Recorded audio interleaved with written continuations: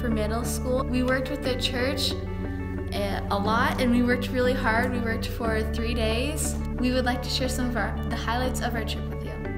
Hi, my name's Aaliyah, and I was on the painting crew on the mission trip. We were asked to paint the the pastor's office, the regular church office, and a hallway.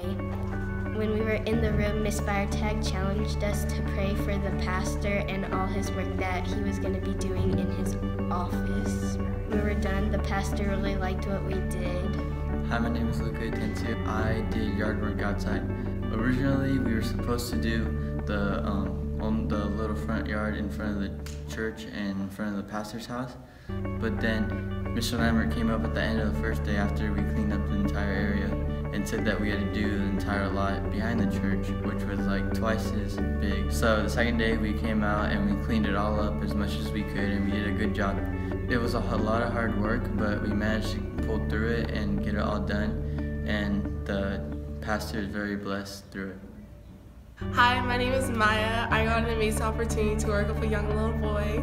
Um, he wanted to paint, but he needed a lot of help, and then I stepped up to be his partner for the day. We painted the walls of the gym together and grew closer with God and each other, and just enjoyed bonding time together.